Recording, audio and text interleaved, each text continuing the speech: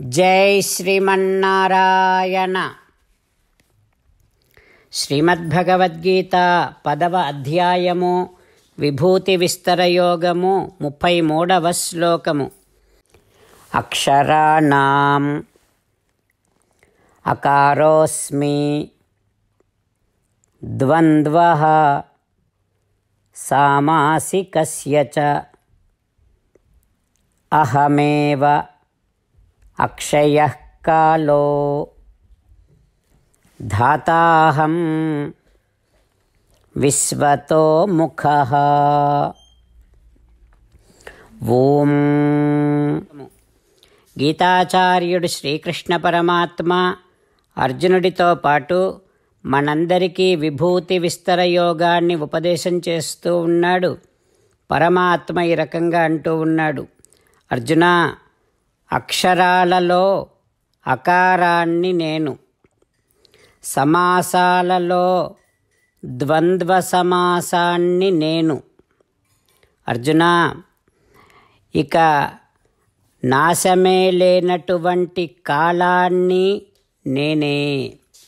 అంతేకాదు అన్ని దిక్కులలో తన ముఖాలు కలిగినటువంటి చతుర్ముఖ బ్రహ్మను నేనే అంటూ శ్రీకృష్ణ భగవానుడు తన అంశ ఆధిక్యత వలన అకారము సర్వశబ్దాలకు కారణమైనదని అంతేకాకుండా సర్వపదార్థములకు కారణుడైనటువంటి నారాయణుడిని అకారమే చెప్పగలుగుతుందని ఆ రకంగా నారాయణుణ్ణి చెప్పేది అకారం.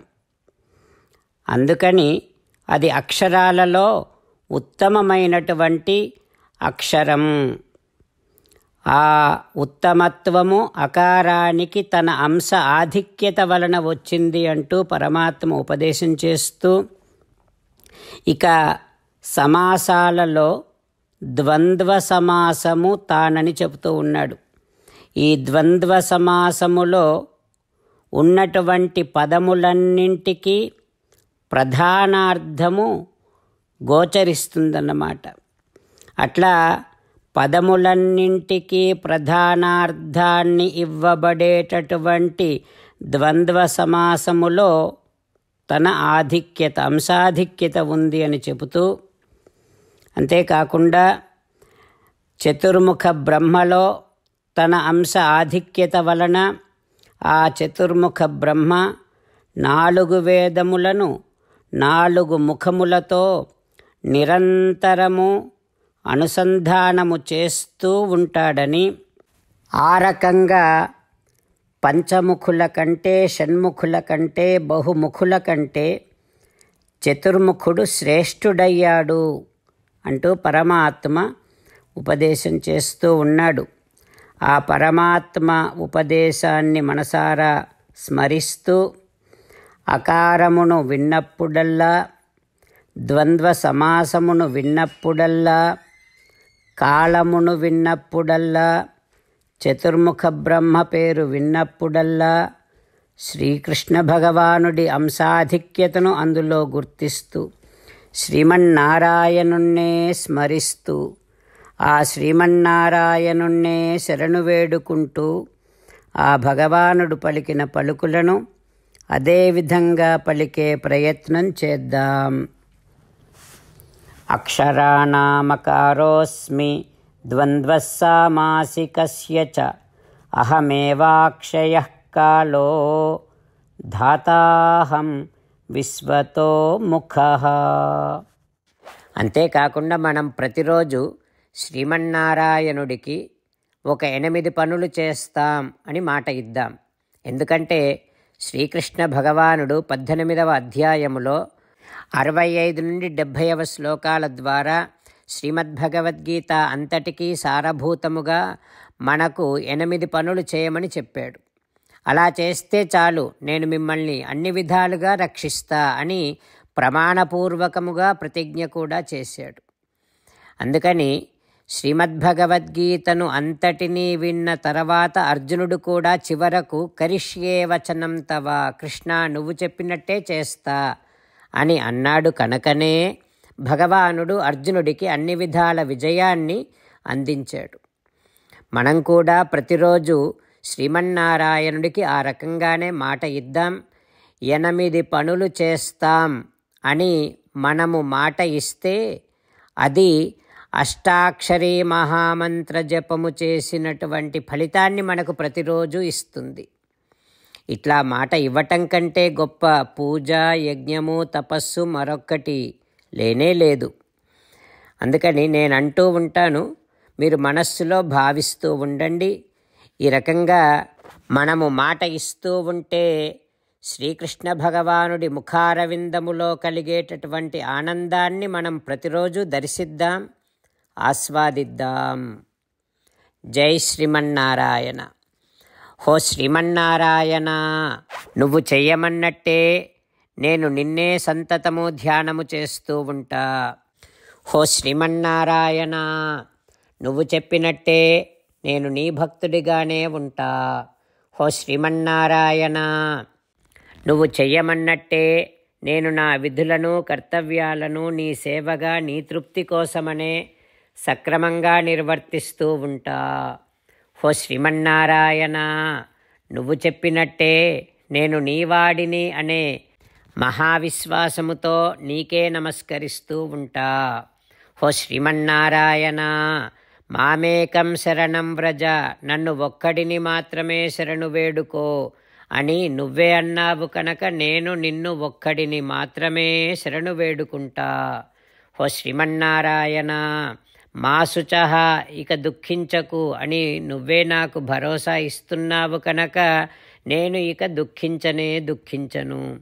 హో శ్రీమన్నారాయణ నువ్వు చెప్పినట్టే నువ్వు నా కోసమని అనుగ్రహించినటువంటి శ్రీమద్భగవద్గీతను ప్రతిరోజు కనీసము ఒక్క శ్లోకాన్నైనా జ్ఞాపకం చేసుకుంటూ శ్రీమద్భగవద్గీతను అనుసంధానము చేస్తూ ఉంటా.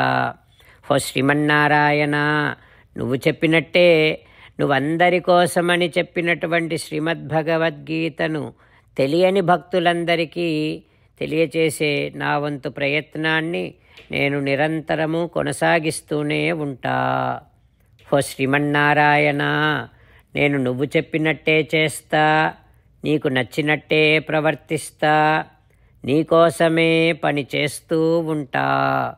కరిష్యే వచనం తవా. ఇప్పుడు శ్రీమద్భాగవతాన్ని అనుసంధానం చేసుకుందాం. శ్రీమద్భాగవత గ్రంథానికి నమస్కారం. నిగమకల్పతరోర్గలితం ఫలం సుఖముఖాదమృతద్రవసంయుతం పిబత భాగవతం రసమాలయం ముహురహో రసికా భువి భావుకా శ్రీసుఖయోగీంద్రుల వారికి నమస్కారం. యం ప్రవ్రజంతమనుపేతమపేతకృత్యం ద్వైపాయనో విరహకాతర ఆజుహావ పుత్రేతి తన్మయతయా తరవోభినేదు తం సర్వభూతహృదయం మునిమాణతోస్మి నరనారాయణులకు చతుర్ముఖ బ్రహ్మకు సరస్వతీదేవికి వ్యాసమహర్షుల వారికి నమస్కారం.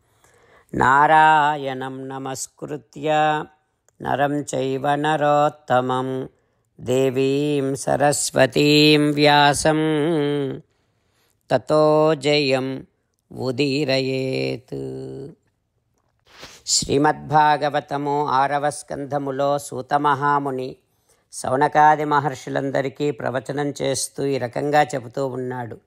ఓ మహర్షులారా శ్రీసుక యోగీంద్రుల వారు పరీక్షిన్నరేంద్రుడికి శ్రీమద్భాగవతాన్ని ఉపదేశం చేస్తూ ఇలా చెబుతూ ఉన్నాడు.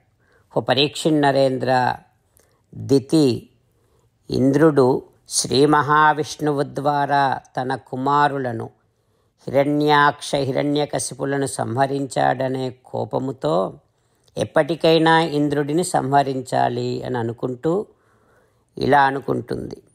తుచ్చమైనటువంటి శరీర భోగాల కోసము ఇతర ప్రాణులను సంహరించేటటువంటి వారికి నరకమే కలుగుతుంది.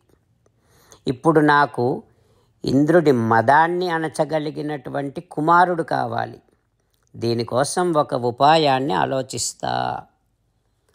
అని దితి ఇతి భావేన సా భర్తు ఆచచార అసకృత్ ప్రియం శుశ్రూషయా. ఆ ఆలోచనతో దితి తన భర్త అయినటువంటి కశ్యపుడిని తనకి సేవ చేస్తూ అనురాగముతో వినయముతో ఇంద్రియ నిగ్రహముతో భక్తితో విలాసమైనటువంటి చేష్టితములతో కశ్యపుడిని వశం చేసుకోవటం కోసం చాలా ప్రయత్నం చేసింది అతన్ని ఆకర్షించింది. కశ్యపుడు ఆమెకు వసుడయ్యాడు.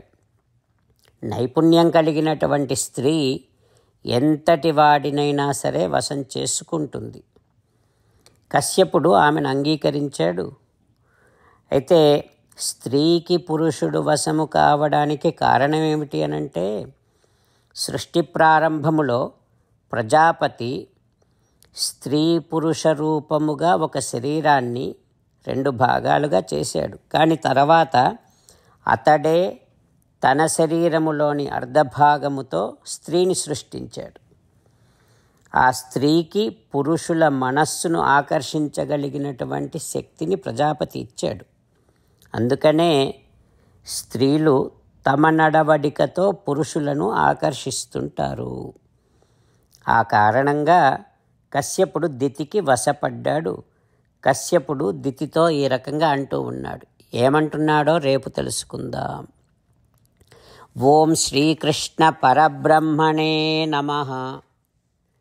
ఓం అస్మద్గురుభ్యో నమ ముకుందమాల కృష్ణో రక్షతు నో జగత్రయ గురు కృష్ణం నమస్యామ్యహం కృష్ణే నామరశత్రవో వినిహతా కృష్ణాయ తస్మై నమ కృష్ణాదేవ సముత్థితం జగదిదం కృష్ణస్య దాసోస్మ్యహం కృష్ణే తిష్టతి విశ్వమేతదఖిలం.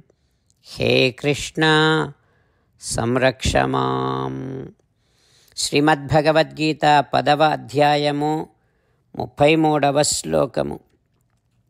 అక్షరాణం అకారోస్మి. ద్వంద్వः సామాసికస్య చ. అహమేవాక్షయः కాలः ధాతాహం విశ్వతో ముఖः అక్షరాణమకారోస్మి ద్వంద్వः సామాసికస్య చ అహమేవాక్షయः కాలः ధాతాహం విశ్వతో ముఖः శ్రీమన్నారాయణ కరిష్యే వచనం తవ సర్వం శ్రీకృష్ణార్పణమస్తు జై శ్రీమన్నారాయణ